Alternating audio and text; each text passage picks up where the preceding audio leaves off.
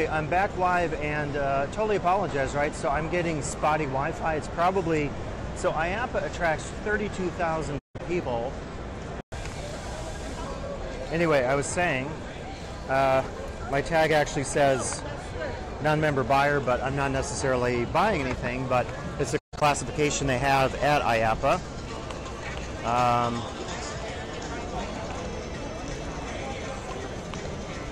whoa.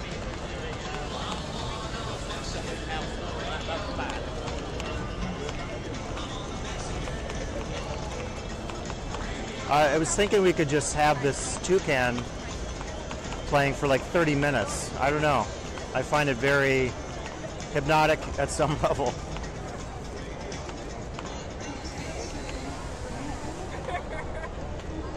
Again, all the new technologies you see at IAAPA. Um, oh, but in any case, I was saying, I think I was telling a story.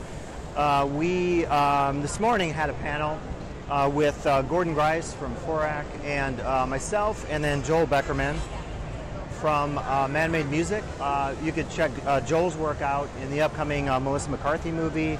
I think it's called Food Fest. It's a food competition themed movie, and he did the soundtrack for it. And he talked today about sonic branding and some of the stuff he does at Man-Made, which is a company based out of New York. Um, so we talked about the senses. We talked about the value of using the senses, so sight, sound, touch, smell, in um, themed and immersive spaces.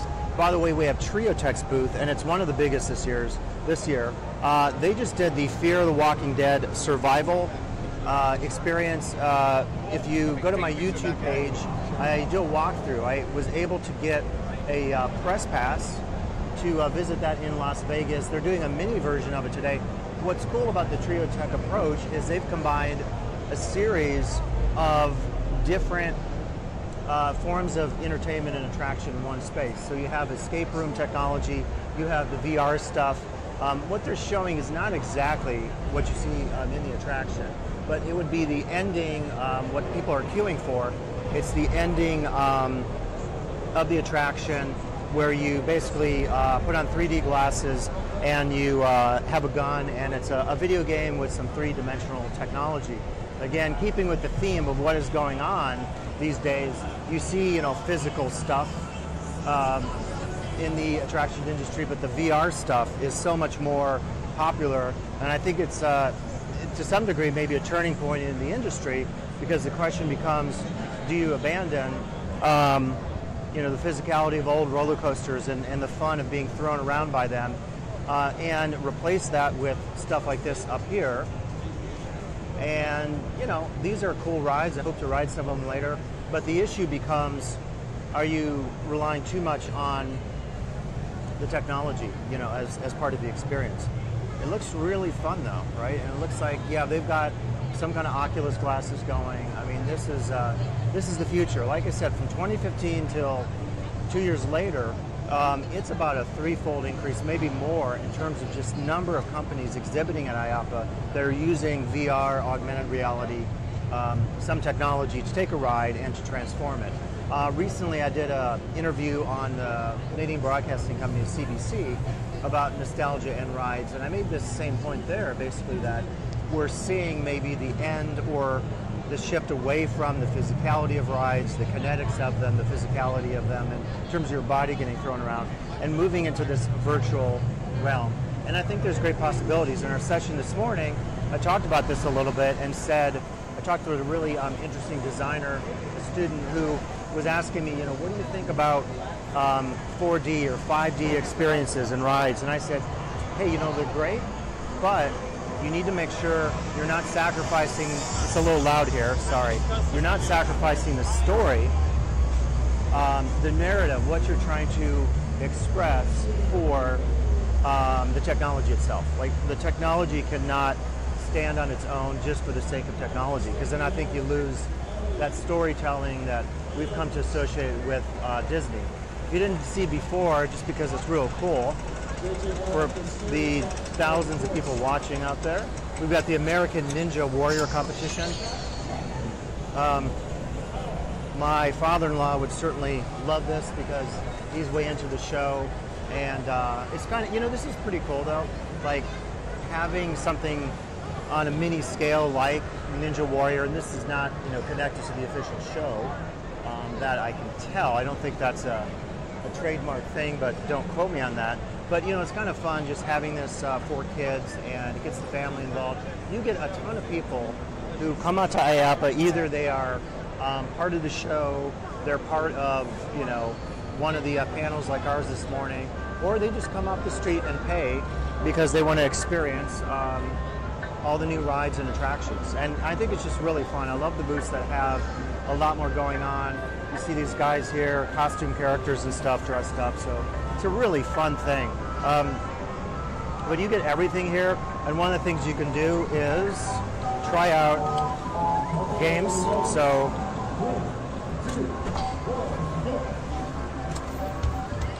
you can try out games for free.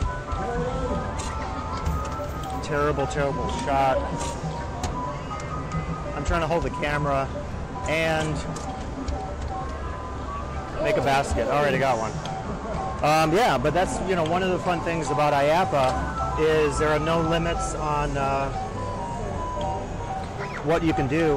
Question becomes, what is this? Let's see, it's a water gun, and uh, maybe maybe it just is constantly going. I don't know. Okay, uh, maybe I have to hit the target or do something with the ducks. I don't know. I don't know. Is that does that look fun? I mean, I think one of the things is you're trying to use um, the latest technologies to get people interested, obviously, in your uh, in your products here. But you know, where else do you get to do this, right? This doesn't happen at uh, academic conferences. Trade shows are all about um, getting to try the latest and greatest technologies, games, rides, whatever. Um, you know, some of this, I think, again, we think of it as pure amusement, but um, the other side of it is a lot of creative minds, uh, teams, you know, are involved in. I think this is just maybe throw the ball and the. I, I don't even know what this is. Is it registering a score? I don't know. It kind of is, but it seems too easy. Oh wait, they're moving. Okay, okay, hold on. Now here we go. All right, now it's harder because the cute penguins are are moving. All right. I don't know. Let's see. We have Graveyard Smash.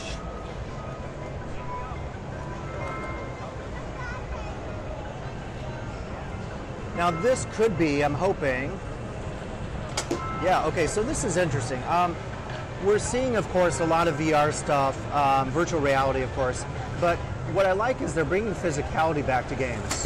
So this is an example of using, right, the traditional carnival game with a ball, and this is actually really fun. Whoa, all right. um, there's a, if I get a chance later, I'm going to show you a Pong. Whoa, I just got stung or something. There's a new version of Atari Pong, the classic old uh, video game, but they incorporate um, like magnets and actual three-dimensional real um, moving pieces on the Pong board.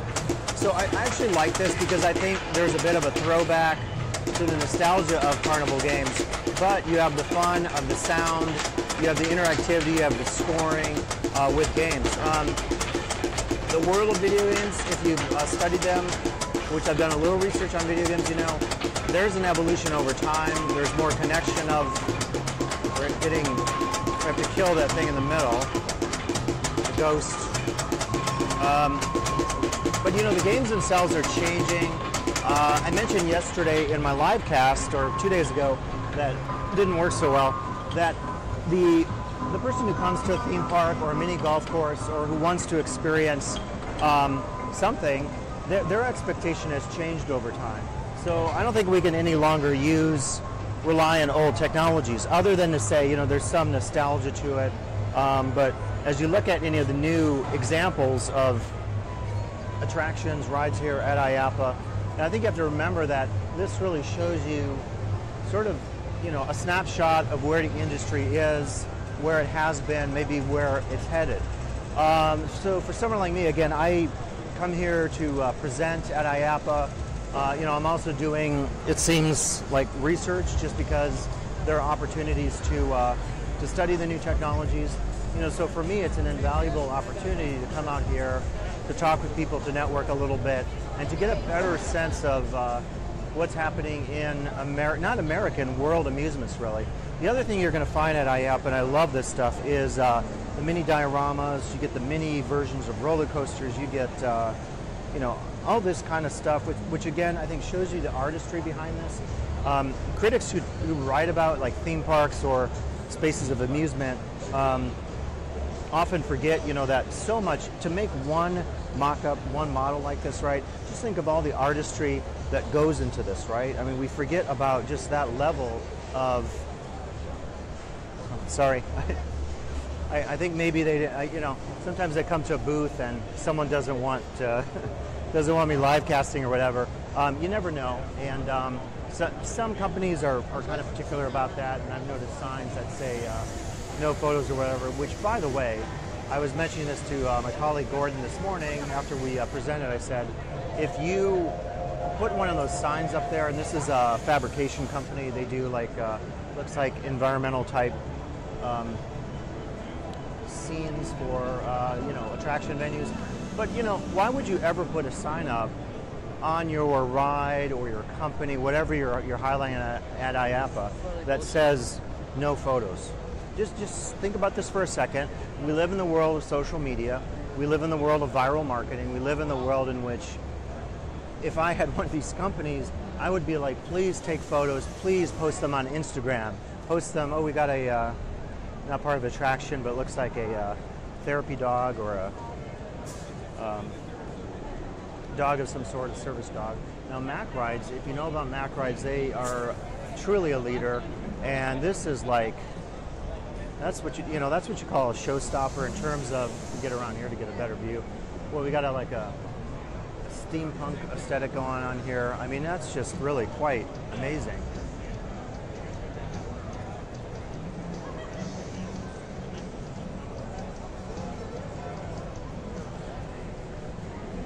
Mack, uh, Gen, you know, truly one of the uh, world leaders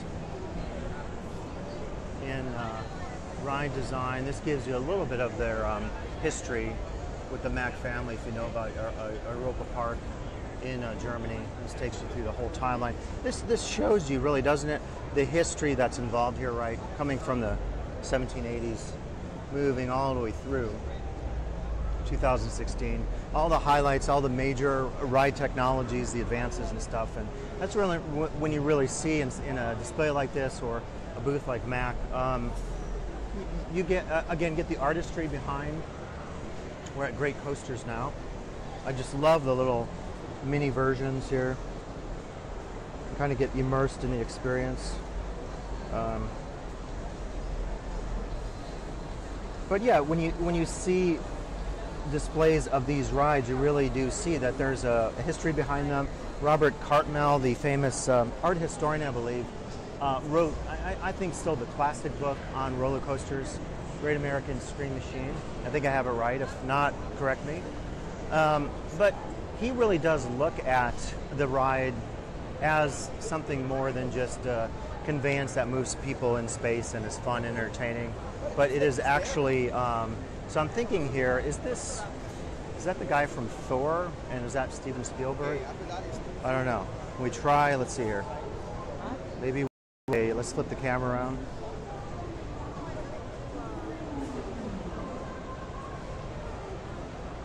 Okay, I don't, I don't know. Is that that? I, I think it's it's like the uh, Madame Tussauds, right? Um, wait, that says Ryan Reynolds. Ryan Reynolds. Why did I think that was? Okay, it's Ryan Reynolds. See, I thought it was the guy uh, who plays Thor. I didn't know Ryan Reynolds. What are some of his films? Help me out.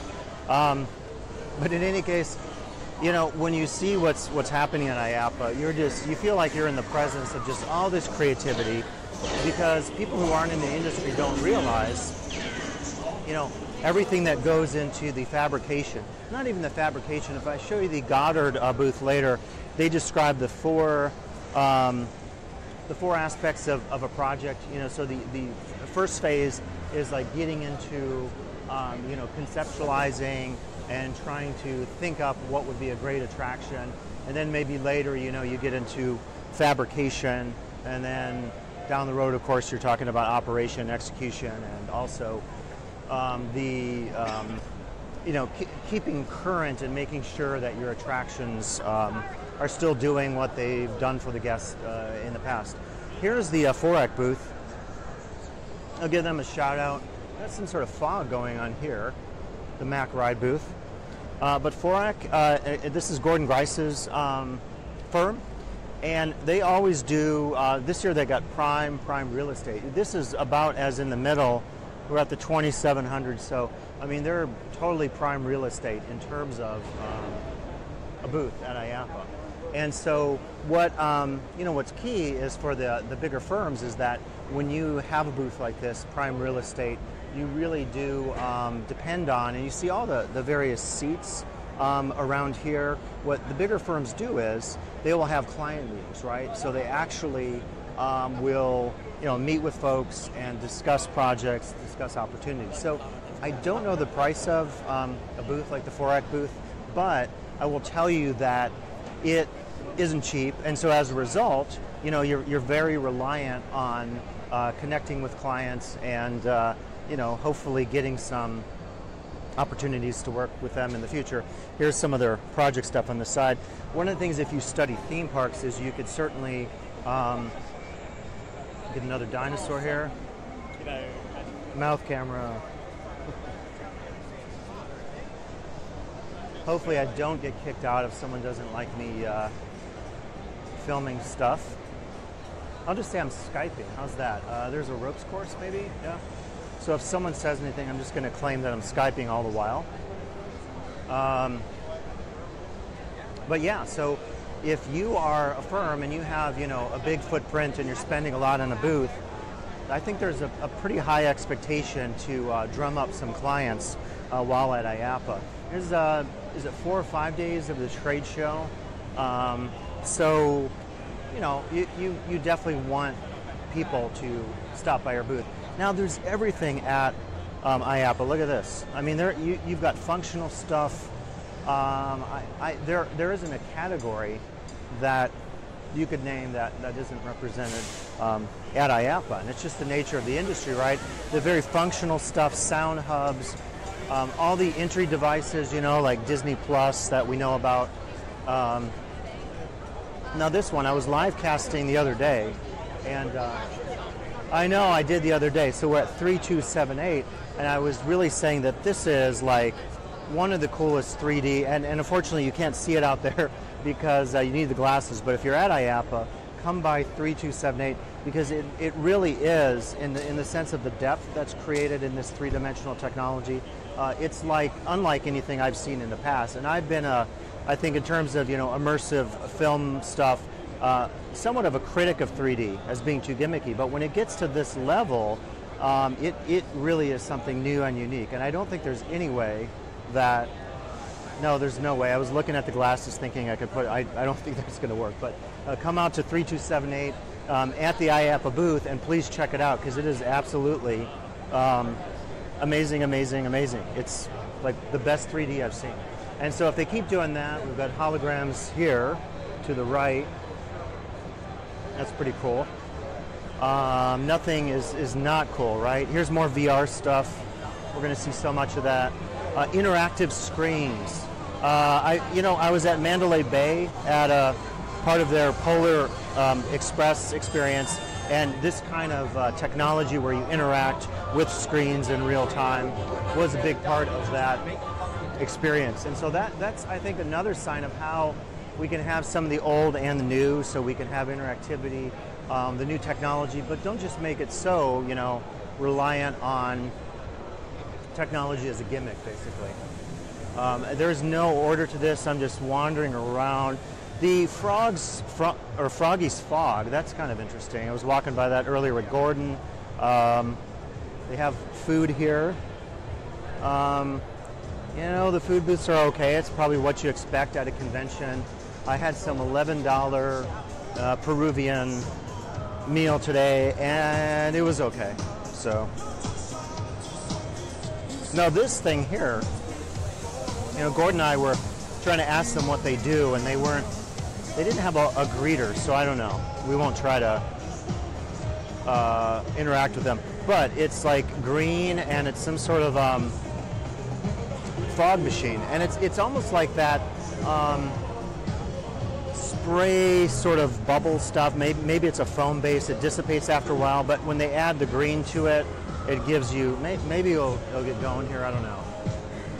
There's not a lot happening, but wait, there's maybe, there's a sound, okay, there's something going on up there.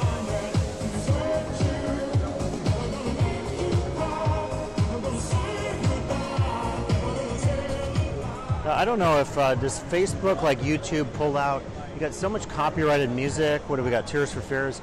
That um, I'm always worried. You know, like on YouTube, if I'm recording on site at a theme park, um, you know, I'm going to get knocked by the uh, YouTube censors, right? So I don't know if that's going to happen on Facebook. I assume this gets archived. If it doesn't, then um, the the uh, thousand of you watching, you're the only ones who are ever going to see this walkthrough. Um, what else do we have going on here? Let's see. Uh, oh, customizable uh, ride vehicles. Okay, so I guess the idea here is they do fabrication, and um, you know you could basically create looks like a vehicle based on the theme. If you're doing a dinosaur theme or a race car or whatever, you could have that customized, which is certainly um, a cool idea, right? So you can make it fit. You know, the customization, and I, I know nothing about that level of um, engineering, but I'm you know wondering about like 3D printing, and if you can use 3D printing now in, in, in new ways and more cost-effective ways. Um, this, by the way, this big game, um, I'm not going to make you wait in line. If there was no line, we'd go in. But you know, I, I saw something on LinkedIn, I think, and this looked actually pretty cool. So I think we're going to have to, or we, me, going to have to check this out later just to see the experience. It looked like a walkthrough um, you know, shoot 'em up game, video based and, and, so forth. You can see some of the screen there, right? So there's people shooting, but it looked really innovative. And uh, they typically at IAP, I've walked through these uh, mock-ups. They typically do small versions of rides, like the Fear the Walking Dead experience um, is not obviously the full experience. What they try to do is give you a flavor. Now, in a couple cases, or a couple cases, many cases, these are the full, right? So this would be a full ride experience. Um, gun themed, of course. So,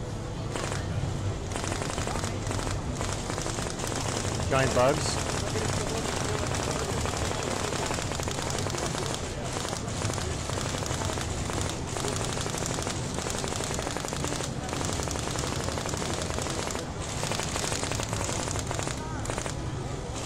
Get the idea? but uh, yeah, you know, so it's it, it's pretty easy, right? In a lot of cases, if you just get to experience the actual ride, you know, it's not a mock-up or anything. I think that allows you to see exactly what you're getting into if you decide to go ahead with a purchase or something or a contract. Um, if I show you the inflatables, the big balloon, um, you know, blow-up stuff, uh, in those cases, you actually see like price tags on some of the rides. They have sales. There's a uh, firm out here that sells used rides. This looks to be like karaoke. Um, you know, I think this whole technology here we have to watch in the future. I, am very suspicious now. You know, maybe karaoke is still a thing, like culturally, but um, the photo printing technologies. When I see booths for that, and I'm going to offend anyone who's uh, you know represented from that industry, but I just wonder if that can sustain itself. If you're going to sell people physical printouts of their photos from social media or whatever. So I think that's an example where you, you do have to um, keep up with the times or you will become obsolescent. You will basically, you know, uh, just ride yourself right out of the industry, right? Because people are not going to um, accept some of those technologies that, that become old over time or outdated. This is pretty amazing, huh? These are um, mock-ups, but just look at the, the detail and the quality of some of this. Wow. This is this is pretty uh, amazing. See where we're at, and uh,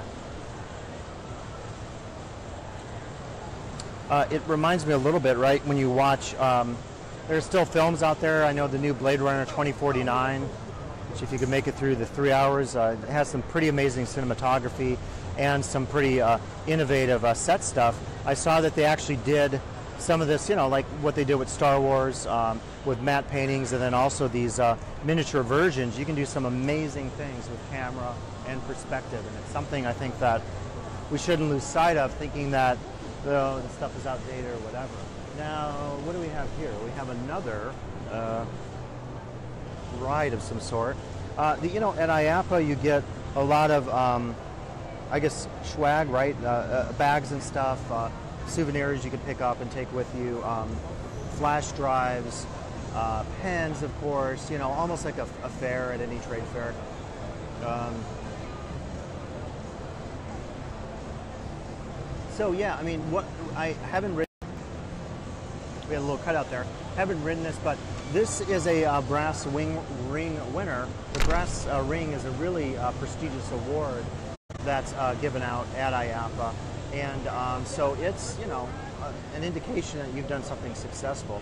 So this appears to be one of the newer rides where you have a physical component, so people are moving in real time, and then you have, of course, uh, the Oculus. Uh, the, don't quote me; they might may not be Oculus. It's almost like a Kleenex, right? It like becomes generic, but um, you know, VR technology that involves um, projecting on, uh, you know, uh, the screen, if you will, your eyes, um, an experience, and you in some cases can interact with that experience. In this case, you're not doesn't look like able to uh, you know actually have an interactive component like a shooting game or something.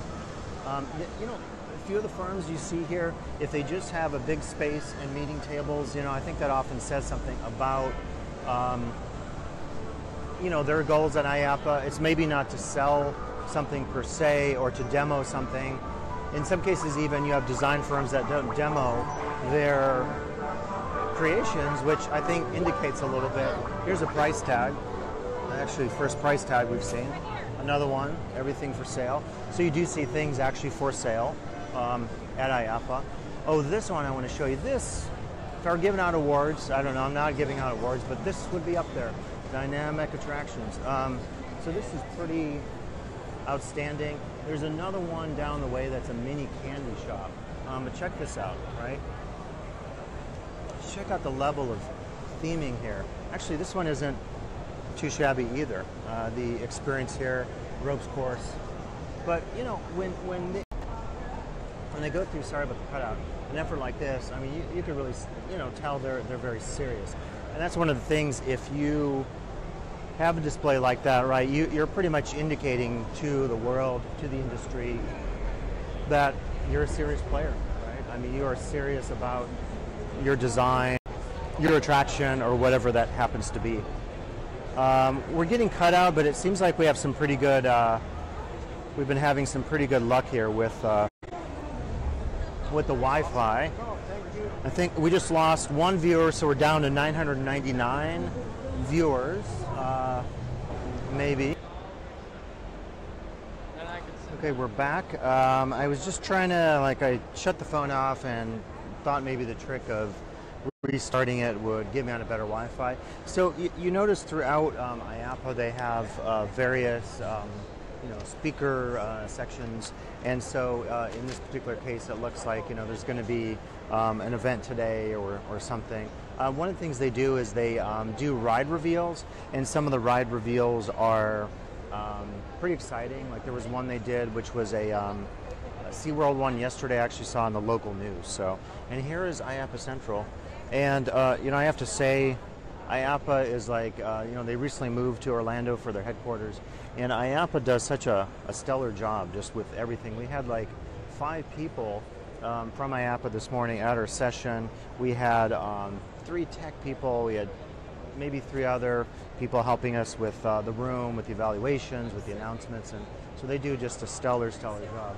Now, I wanted to mention a little plug here on our. Um, so, Gordon, uh, Joel, and I did our session this morning, and we have a new piece that came out in attractions management on uh, sensory design. So, we'll take a look at that actually.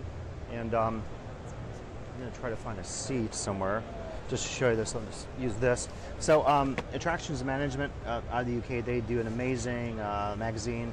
And um, this year, we, or this quarter, we contributed, and our piece came out just around the time of um, two weeks before IAAPA. So it's kind of cool just because what we were talking about this morning was also you know the same topic focusing on the senses, uh, sensory design. So again, it, in case uh, you want to connect uh, Joel Beckerman from ManMade, Gordon Grice, and myself.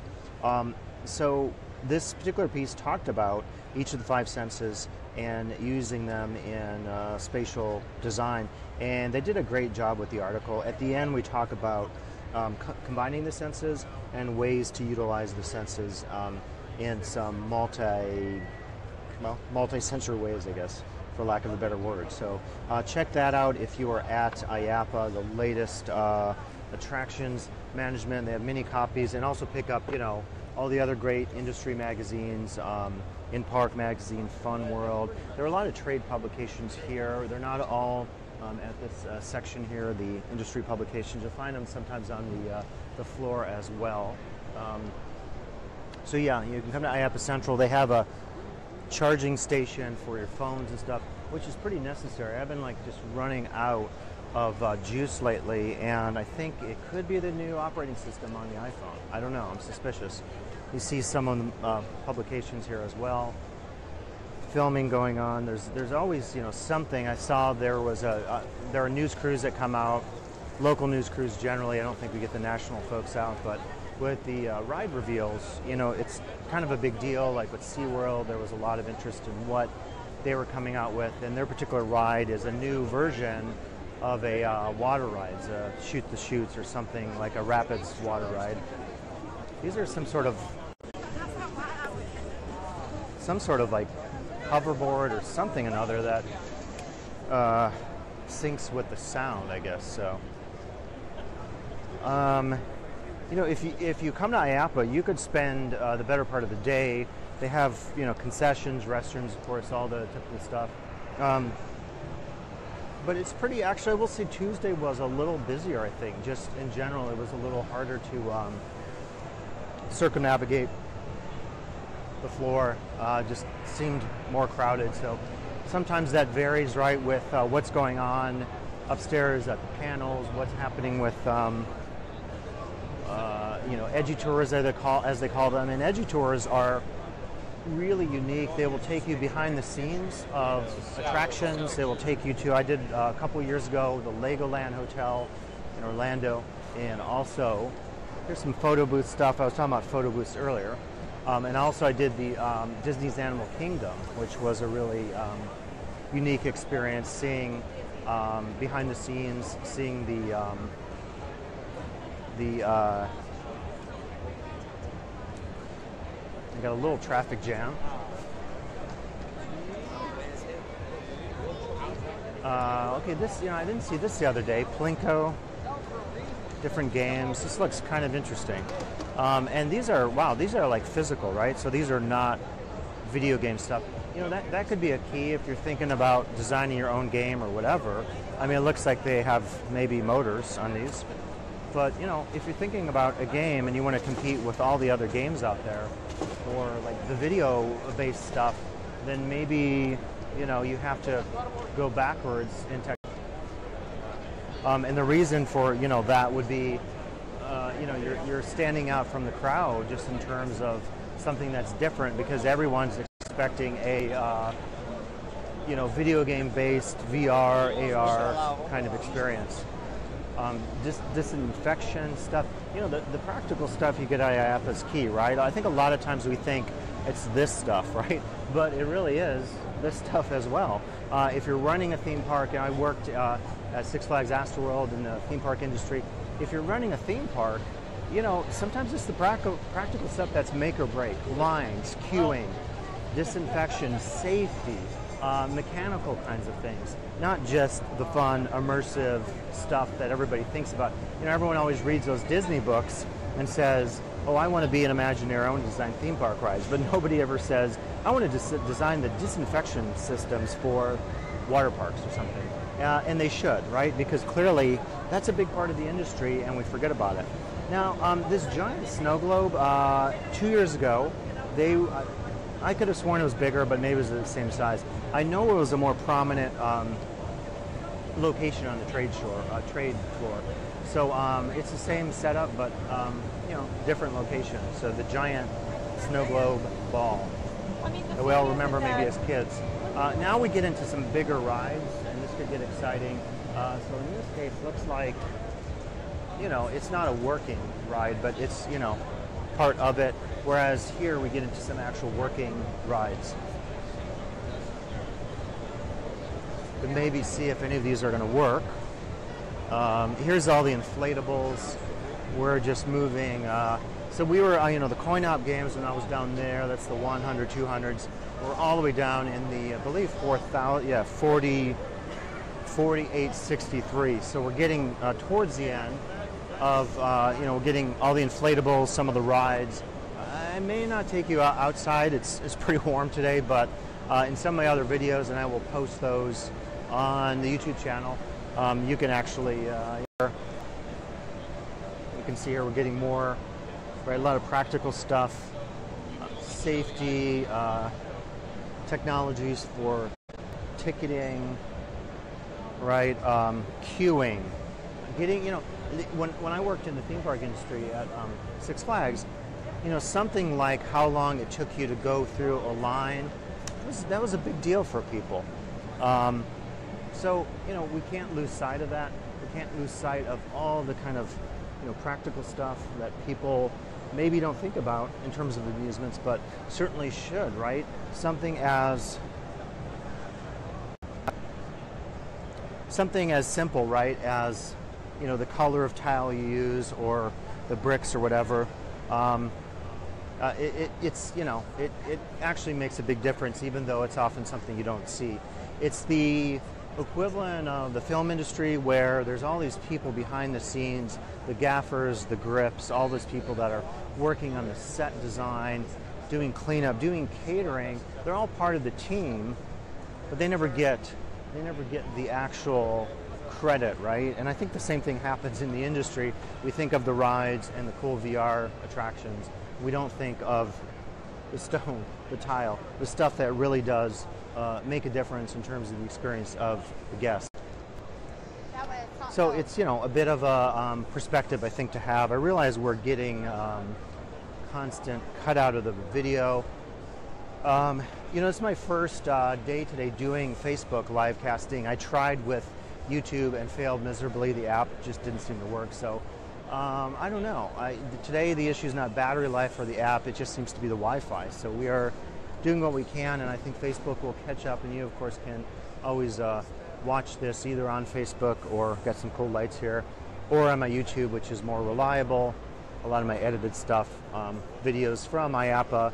I'm also going to be taking you through this, you through uh, Disney Springs. Got some amazing LED lights. Uh, so Disney Springs, uh, you know, I, I visited with uh, Gordon Grice uh, from Forrec. We presented this morning on sensory design for those of you watching. And um, so I'll take you through Disney Springs and talk about the transformation from downtown Disney to uh, Disney Springs with the new narrative. Um, it was an interesting uh, experience Gordon and I had. We spent like 10 hours there just going through, talking to a couple of um, the Imagineering folks, and just really getting a perspective on how Disney took all these disparate elements from a mall that over time, to say the least, has had challenges, maybe not unlike uh, California Adventure in some ways, and how they gave it a backstory, a narrative. And it's a historical one, and um, the more I think about it, you know, I would say it's a postmodern sort of narrative in terms of time, in terms of how they deal with reuse. Uh, a settler's cabin becomes a um, burger bar in, in uh, present day. So this is another bowling experience And then here we have a soccer experience, a football experience. Uh, again, at IAAPA, you'll get a range, uh, you'll get full-fledged rides, functioning rides like this one here. So we'll see if the people will wave at us. I don't know. Hello.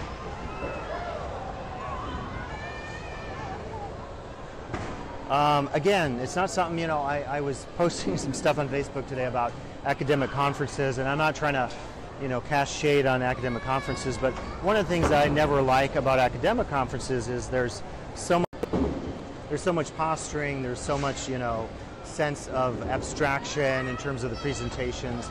And you, you come to IAAPA, you present, and certainly if you're in the trade hall, right, there's, there's none of that. And I just, I really appreciate it. And I, I, it's not to say I don't do academic conferences anymore, but less and less I find them interesting just because I am not, I'm at a point in my career where I don't really care about, you know, pedigree or lineage or recognition. I mean, well, we all do to some extent, right? We all care about, we all care about some sort of approach we might have.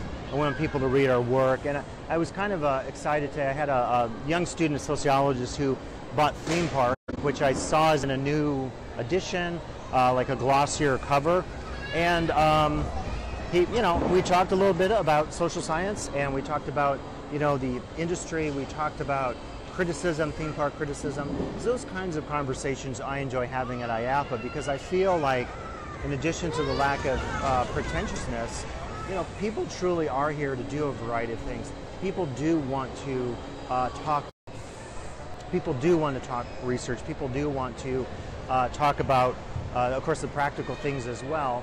But they're just there's a real collaborative feel to it, and I've always just appreciated. I think that um, sensibility at IAAPA. Just trying to decide where to walk. Now, again, we're in the 5800, so we're just at the um, extreme um, end. We're entering inflatable territory.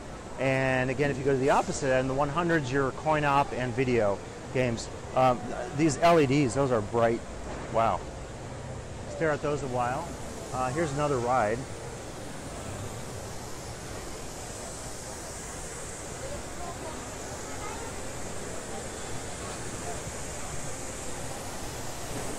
It's the drop and twist. All right. Drop and twist. The drop and twist there. We're getting some cutout. Again, my it's not my Wi-Fi, it's IAAPA's, and unfortunately, um, we're, we're getting that dropout. But with 32,000 folks here, who knows how many are on the Wi-Fi right now. I don't know what their bandwidth is, but that is blinding. Wow. Uh, LEDs have, have really revolutionized uh, the industry. And, you know, so this morning I was having a conversation. There were so many cool um, students at our uh, panel this morning and someone asked me a question about VR, augmented reality, um, 4D, 5D, however many D rides. And I said, you know, one of the things we lose, I think, in conversations in the music industry or about theme parks, museums, is that sense of um, the aesthetic side of presentation. And I'm seeing the LEDs, and I'm actually thinking of the whole issue of installations, right, from the world of art um, if you doesn't have to be the MoMA, but you, you go to, to you go to any great art gallery in most parts of the world, right? Could be a small town even. You're going to find some use of technology. You're going to find, in fact, some of the same devices and delivery systems, um, optical systems, video, uh, you know, in the amusement park world as you might in museums. And of course, for the museum uh, folks out there, one of the issues is how do you negotiate this uh, cross-talk between um, the, you know, I, I don't like edutainment, but I don't necessarily like the word edutainment, but the educational side of what you're trying to do in a museum and the entertainment or immersive side. We've got we've got a little, let's see, those, you know, I saw these, uh, if we're getting, I'm getting covered here in, is it foam? Hopefully this is not hazardous. I'm sure they figured this out. The kids love it, right? The kids love this. We're getting covered in it. Let's see. Oh, it, it's kind of just dissipating. So it looks like it's uh, some kind of foam and it's uh, dissipating so we're not going to have any residue presumably left over. But, um, you know, so there's a side, right, that in the industry, like the museum folks are always talking about, we don't want to compromise the didactic, the pedagogical, the educational, the emotional, um, that side of immersion for entertainment. And you know, uh, going to the Themed Entertainment Association conferences, TEA, you get an interplay. Sorry, we're getting loud here. We're in the inflatables, and we have uh, the fans, right? The blow-up stuff. By the way, here are some prices. I talked about this earlier. Foosball. Actually, let's go inside for an experience. It's the dance club. All right.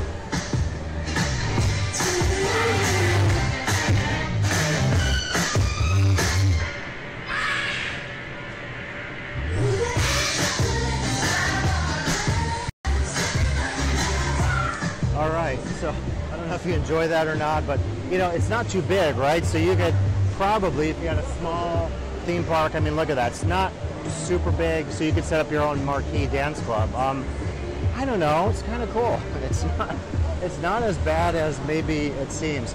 Here's a tiki bar. I, I did a little thing the other day. I said on my new reader on Themed Immersive Spaces, I have a piece called The Cultures of Tiki. Uh, for those of you out there who love tiki, uh, come out to IAAPA 5862 for the inflatable tiki bar for a bargain price of 18.99. So not not bad actually for a tiki bar. I actually think a customer, just a person who doesn't own. Hey, if you watch Rectify, you know this, right? Rectify, and if you watch Rectify, Sundance, kind of a, a mini character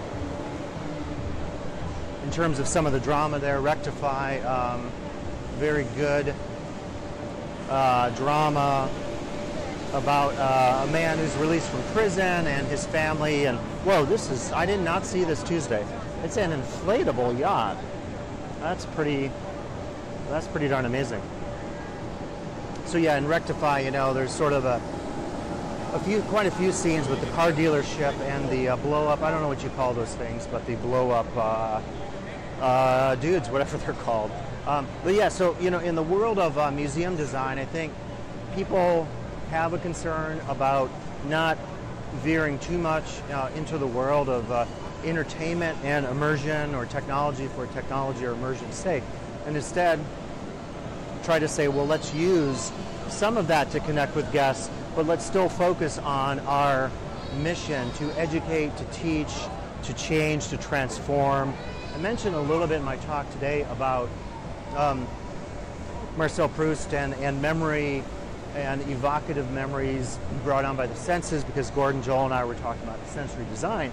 And I said, you know, Proust reminds us that, and, and it's a classic story from Remembrance of Things Past, where he dips a, a little cookie or a cake in some tea and has this, you know, memory of his childhood and not all the memories he speaks of, if you could make it through the seven volumes of his uh, masterpiece, um, not all of those are necessarily uh, positive memories. So here's another. Um, I'm not, you know, it'd be interesting to see this actually operating, and you know, so far it's just I don't know. There aren't actually, I guess, people in it, but uh, you know, it's just another opportunity to see the uh, the technology. Here's some kind of zero air pad with zero shock technology.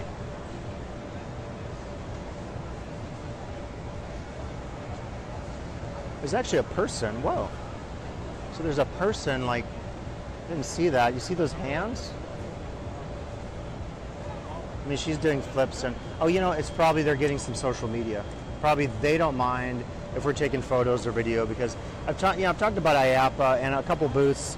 People have gave me dirty looks because I'm taking video, or they actually have signs. Go figure. Signs that say nothing uh, short of do not take photos. And I'm always making the point that if you are in the industry and you're trying to publicize your product, in this case the AirPad Zero Shock technology, you want people to post this to social media. You want people to post this to Instagram. You don't want it to be like, I, I just, I don't get it. The no photos thing, I will never understand why anyone puts that photo up.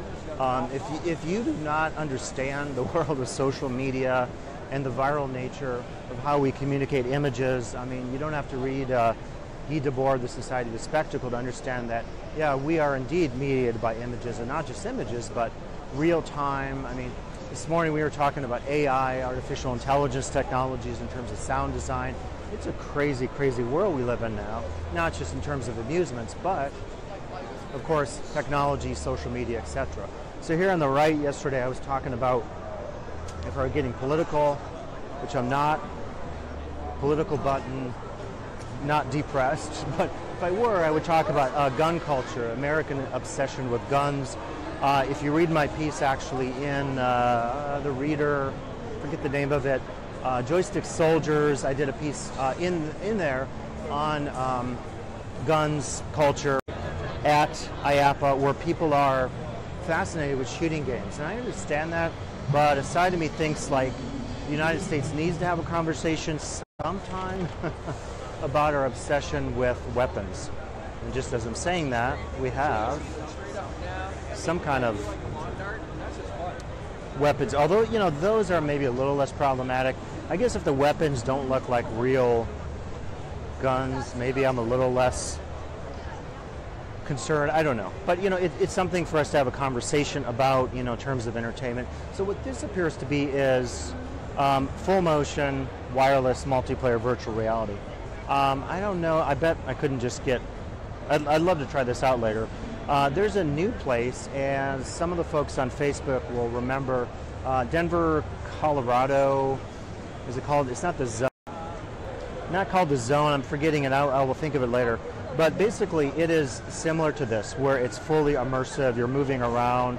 Um, it's going to be hard for us to tell what's happening. Let's see if we get any screens here. We do have screens. Um, so what I'm interested in is, you know, what is the player seeing? And I don't know if we'll actually be able to view any of that. That would be pretty. That would be interesting if we could see that. Uh, this is looks like some sort of futuristic sci-fi theme to it. Uh, okay, wow, we are getting this. So maybe we, let's try real time. Let's get a. So look, we're getting. You can see there, right? You've got the avatars. They're each named, and I'm trying to see. Oh, nine. Let me look for nine. Where's nine? because um, see, they have numbers on their packs. So what I'm thinking is maybe we could watch, you know, someone in real time is moving, we get their avatar up on the screen. So again, we can't exactly see what they're experiencing, but this is a pretty cool opportunity to maybe see how this works.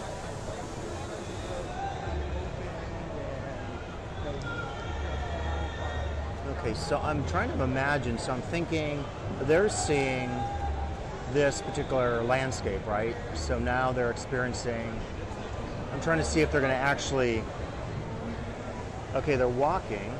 I can't, I can't really show you both at the same time, but people are kind of stumbling, right? So they're walking. Yeah, so that, that is pretty amazing. So it looks like they're walking in this pen, this ring. Again, it's pretty, pretty expansive, right? I mean, it's not a small footprint and um, that is then being translated to what they're doing um, in the, the virtual version. It looks like so, I saw it looks like uh, I wonder if this guy here is Spencer on the screen because it looked like he was shooting his weapon. They are shooting, okay. Um, okay, so you know it, it's just not you know it's one of these things, right? We have to try it, but I like the intent of this because the fact that you're moving in this pen, if you've done any VR stuff, um, where you're sort of trapped on a podium or something, they're sometimes no bigger than the screening device at an airport, right? Where you're in this little device and you're trying to feel the experience. But if you can actually like move around and fully interact, in this case, we're talking, what do you think that is? 100, maybe, or at least 50 feet, 70 feet long, 15, 20 feet wide, that's a pretty good expanse to move around in. Now this guy's moving, let's see what he's doing. Um, again, what I would love to be able to do is to see which character is which. They're looking down, okay, so let's, let's see here. So they're looking, see as they're looking down, those look like pretty, um, very, I, I don't know what the technology is, but you can tell they're raising their weapons. So yeah, I mean, definitely. So they look up, they presumably see the sky as we're seeing it on their screens, and then they look down and they see the ground. So th- you know, th- this I, I think this is uh, has some real potential for those of us certainly studying video games. I think the interesting thing here is this idea that more and more your body uh, is connecting to what's happening in the virtual world. Um, if you know, um, you know, folks like Tom uh, Boellstorff or people study uh, Second Life, which you know isn't this kind of game or virtual experience. You know, Second Life, I think, was an interesting opportunity to think about um, inhabiting a real world or, or, a virtual world through our real selves. But you know that that interface that's going on, I think, is very limited. You're you're moving stuff on a keyboard or whatever. Look at these guys; they're actually right. They're looking down at the ground. Again, I should look at the screen to see. What I'm trying to do is figure out, you know, which character is which here on the screen. Because I think what's cool about this is they're walking. Okay, let's look on the screen. They're just moving through a portal. And so it appears to be like, okay, yeah, look at this. So it looks like there are sensors on the guns. And so you can tell when someone moves the gun up or down, their head moving up and down, that is all being translated, right? Real time as information in the virtual world. So I think what we're getting into, uh, those of you who know, you know, motion capture and film, you know, sometimes you have hundreds of points that are captured uh, on a person's body wearing a suit or through the environment in some way. Um, if you increase then the number of points on the weapon, on um, you know the helmet, on the Oculus type VR glasses, then I think what you do is you increase that level potential of immersion or interaction uh, that's happening via the, the game itself. So for me, this is kind of exciting because again, it, it's suggesting that where this guy's actually running, um, and that would be cool to try this out to see if as you're running, you know, um, how, how it's keeping up. Is there any latency? You know, the latency effect is something we talk about in the music world. Um, it, it's certainly something to consider, I think, in uh, motion capture in VR because you want to feel as if what you're doing physically with your body is translating right to um, the experience on the screen in the virtual world. So that's what I think is pretty exciting about this is new range of, of motion, um, new um, ranges of opportunity to capture the nuances of the body. And as this technology increases, what will certainly happen is then we'll have our feet, right? We'll be strapped up to something. We'll have more parts of our body interacting with the space. Um, we get the processing power of the, the computing system going. We do all the sensory stuff. Again, I'm not listening to the sound, I'm not experiencing the visual, but you know, if we control those elements, we increase the number of touch points or interaction points that we have, um, that's going to make for some pretty exciting, I think, interactive opportunities. So um, I probably spent like 15 minutes here, but you know, it's one of those things when I see that, I'm like, okay, this, this, we're seeing a little bit of the future here in terms of interactive design. Um, and what's cool about something like that, before I move on, is you know you, it, you can customize, right? So if I'm operating a theme park or a World's Fair Expo space, and don't forget the Expo space, its relevance to this. For those of you that study the World Expo Forum, you know, I'm actually not seeing enough. I was at the, the uh, Expo in Milan 2015. I went through every single pavilion except for Japan, which ironically enough was supposedly one of the most interactive ones with virtual food uh, systems.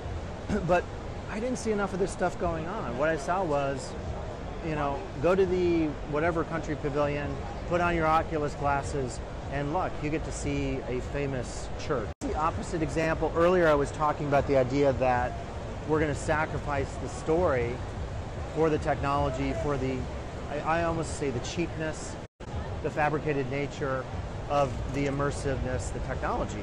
We have cases, I would say at the expo, where we're doing the opposite. We're focusing just on the story as a static thing, as an entity, you know, a, a static thing, and we're cutting out a little bit. I apologize for that, the Wi-Fi. Uh, but you sacrifice for the story. You basically say, I'm not going to use technology available. Instead, I will just put up a static display, a plaque, and the guest is going to be entertained by reading a static display. So um, that doesn't work either. It's a balance between the two realms of the immersive technological VR and the storytelling, the narrative, the didactic, all that kind of stuff you know, this, this reminds me of how, you know, we, just came from this, right? We just came from the VR experience. That has a, what we call corporeal bodily experience, right? My body's a part of it. This, though, I think, is reminding us that we can focus on physicality as part of the experience. And kids love this; they eat this up, right? You put in the uh, dirt. There is going to be a, uh, I, I don't know their thing here, but it looks like, uh, you know, different uh, fossils or petrified wood, etc. And kids play with this, or adults, and you're, you know, this is you're literally getting your hands wet, you know, right? Like you are literally touching something. It's tactile. Sand has a particular tactile nature to it.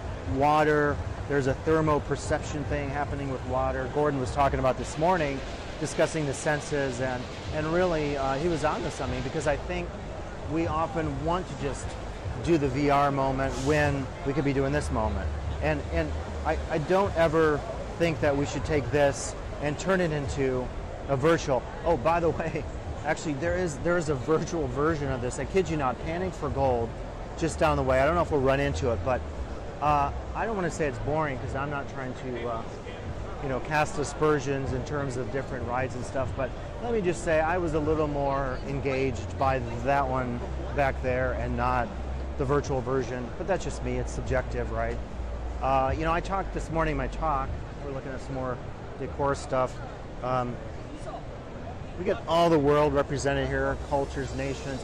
I was, I was discussing on my talk today that um, via Proust that there's a subjective nature of um, the realities, the virtual realities, the worlds we create um, in theme parks, in museums, in every type of attraction represented by IAAPA.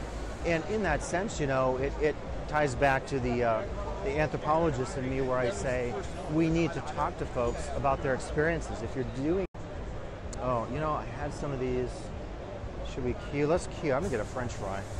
Uh, so, I, you know, my two, uh, I don't know if this is the line, I think it is. I was talking actually in my talk today about the mini donuts. Um, so I was going to queue to have a french fry here. Uh, if you're watching, I guess you just have to experience, right, the sensory the sensory side of this without actually trying the french fry. They're pretty good. I tried them two years ago, if they're the same company.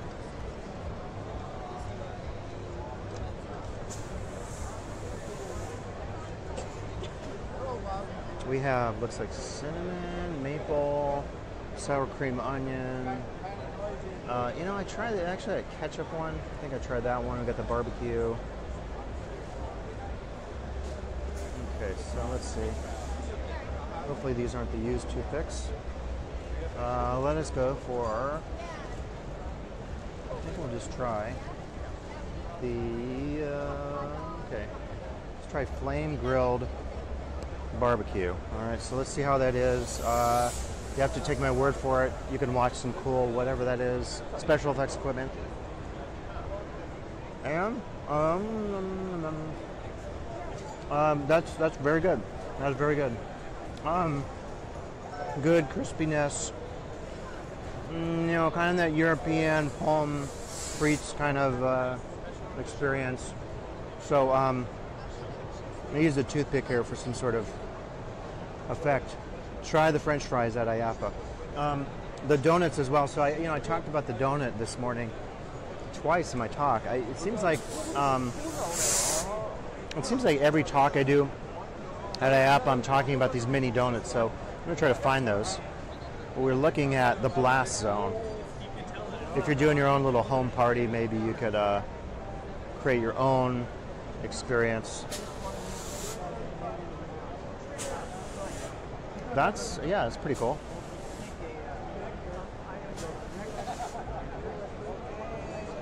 If you are into like DIY, Arduino, you know the whole maker world, uh, that that would be a fun.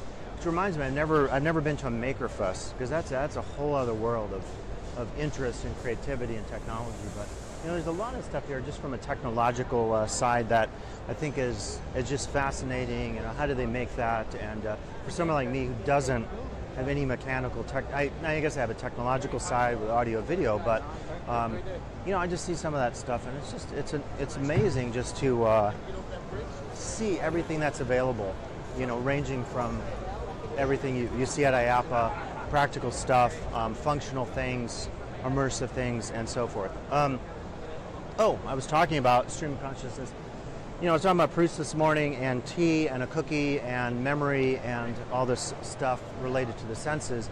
And I thought to myself, it's like every, um, I've done two IAAPA talks, 2015 and, and this year, and it seems like every year, we're looking at some more rides here, I, I bring up those donuts. So I, I, I, like I feel like for the um, 11, I, we're up to a 1,200 people now watching. Wow, we've doubled uh, in size. So, um, and you, and you can choose whether to, to believe my numbers there.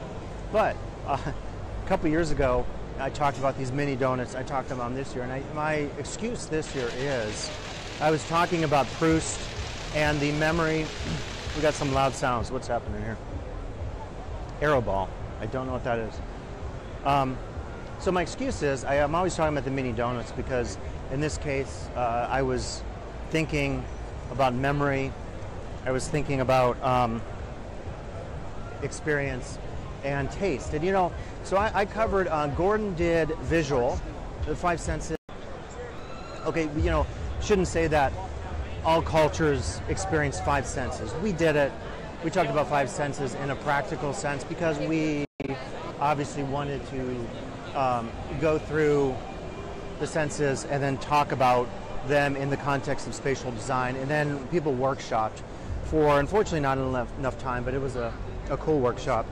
Um, so Gordon covered visual as a critique, basically saying, and he's again an architect, an architectural illustrator, and he was basically saying that the visual is over relied upon in another mini bowling game here.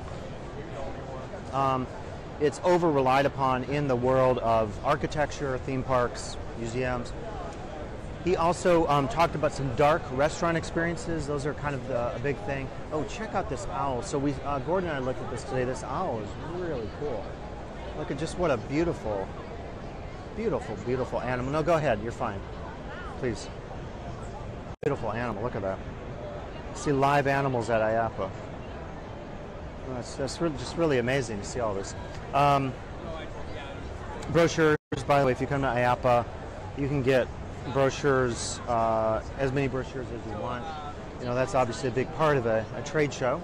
And all trade shows, I think, have a component of this. So if you go to um, NAMM, you know, the big music industry convention, or the home electronics, I think that's always done in Chicago, you're going you're gonna see a similarity in terms Ah, sorry, we're back.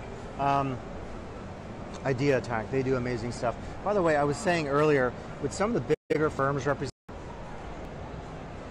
um, I was saying with some of the bigger firms represented here, you know, you often see just very minimal project stuff going on, and then you get this meeting space, right? So you can meet with clients. Uh, sometimes they have back rooms and stuff, and it's like, you know, it's kind of really where deals are brokered, etc.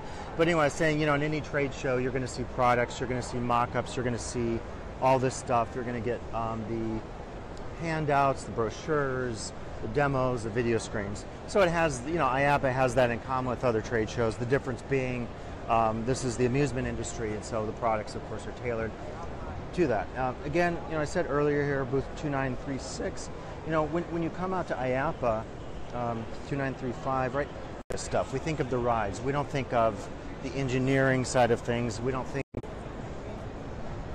we don't think of well actually we probably think of this.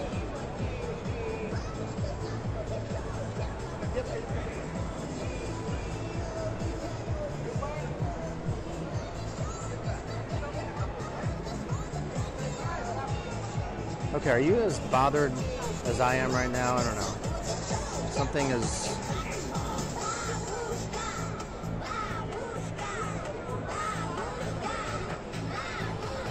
I think they're singing. Were they singing Babushka? Wow. I think they were singing Babushka, which is a headscarf, right? If you're uh, Slovakian as I am, you maybe know that. Um, I don't know. You know, so I was going to say that was the Uncanny Valley operating.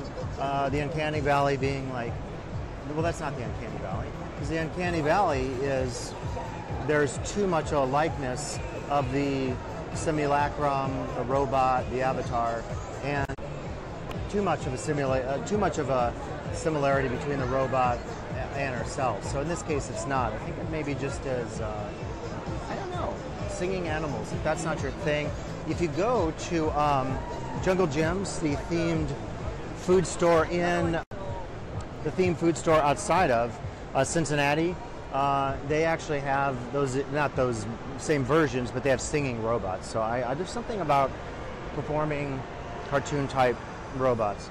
Oh, this is funny. Look at that. Uh, that's very funny. So uh, everyone gets a tag at IAAPA, and I have, I tracked down my speaker tag, but again, uh, you know, some of us have these non-member buyer tags. I'm not a buyer, but um, others, you know, are member exhib- uh, exhibitors, if I can say that. And this is kind of funny, right? Because we're giving Bigfoot um, his or her own. I don't know, is Bigfoot male or female? I don't know. Probably non-gender specific.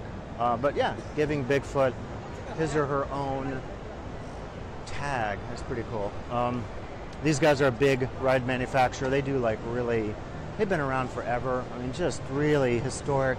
Back in the old days when I was a graduate student studying this stuff, reading about rides and so forth, um, you know, I was always reading about the big players and their big players. Um, to see who else we have represented. You know, Whitewater, they do um, amazing stuff, and every year they've got like I think it was even bigger last year, but they have um, they have this like. So sorry, I didn't mean to uh, do that. If you were watching, you got cut off. Uh, for some reason, I hit finish, and uh, it did post the video, but. Um, they, you know, Whitewater, they always do like this major um, booth every year, and uh, just I, I'm always wondering how much it costs to exhibit. Um, if you're a vendor, if you're, you know, trying to sell a ride or whatever. So I lost people. I'm so sorry that uh, if you were watching the 999 people watching, um, looks like more mobile. Um, you know, I, am really interested. I, haven't seen as much at IAAPA in terms of uh, apps, but I'm interested in like apps and, and wearables, uh, wearable technology, and so forth.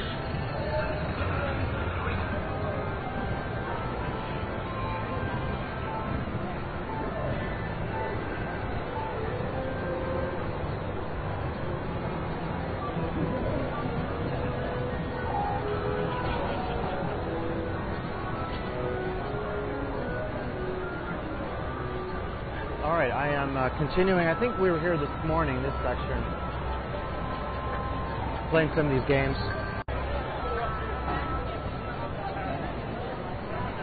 Seems like I've been talking for hours now. So, um, yeah, I mean, I think, uh, you know, there's just so much to see at IAAPA that if you're doing a trade show, you can't do it in a day. There's, there's no way, really, if you want to see everything. Um, you know, if you're coming here for business or something like that, you can be very targeted and specific to where you want to go, who you're going to meet. You know, it's it's so easy. Just go to the map, look for the vendor, and uh, it's kind of a piece of cake to find your way and to discover or talk to the people you want to talk to. I was thinking, I want to actually like go inside something. Um, but I don't know how that would work as far as taking you inside for a spin.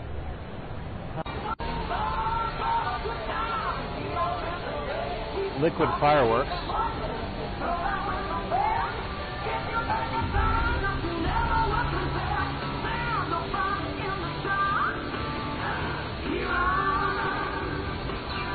Yeah, it's really cool. So, you know, I like about AF is every year we're seeing, you know, different, you know, variations on uh, everything from lighting to sensory uses of water in that case. Uh, of course, all the VR and the technological stuff.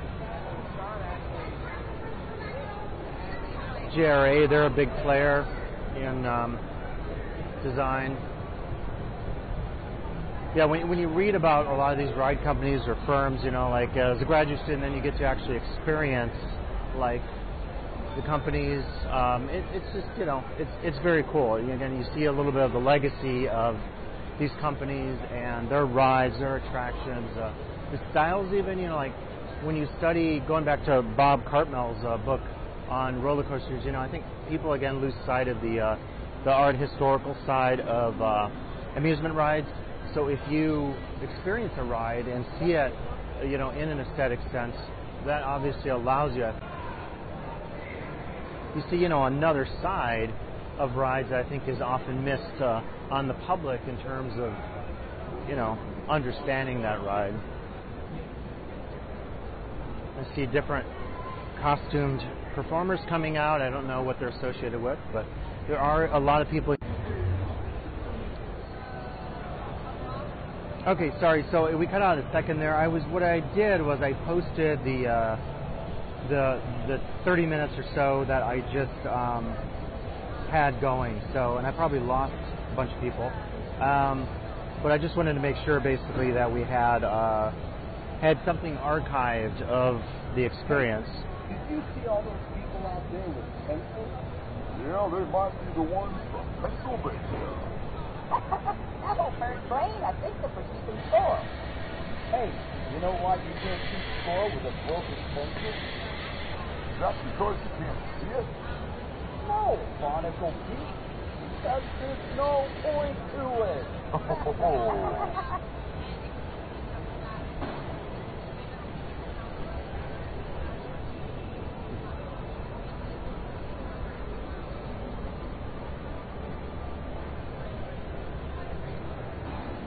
All right, so I think uh, maybe I lost. I think we're down to 997 viewers now, but um, I may have lost a few people. But I, what I did was I wanted to post the uh, the current, um, get an archive going of the current uh, video, just to make sure that we had that.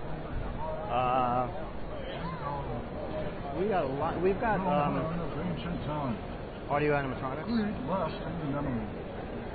And at want to explore. Anyway, I was just saying we have um, audio animatronics, and uh, actually, of course, they're not really. You know, audio animatronic. Uh, the name is a uh, trademark of, of Disney, right? Walt Disney Imagineering. So we we need a better. You know, they're not robots, right? Because they talk and they interact and everything. So we need a better uh, better name for them, right? Um, escape rooms are a really big deal. I recently did an escape room, my very first one, in uh, South Lake Tahoe. And what's pretty cool about the escape room, and if you followed what they involve, uh, they started, you know, maybe around the mid 2000s. Um, Japan, Singapore for sure. When I was in Singapore.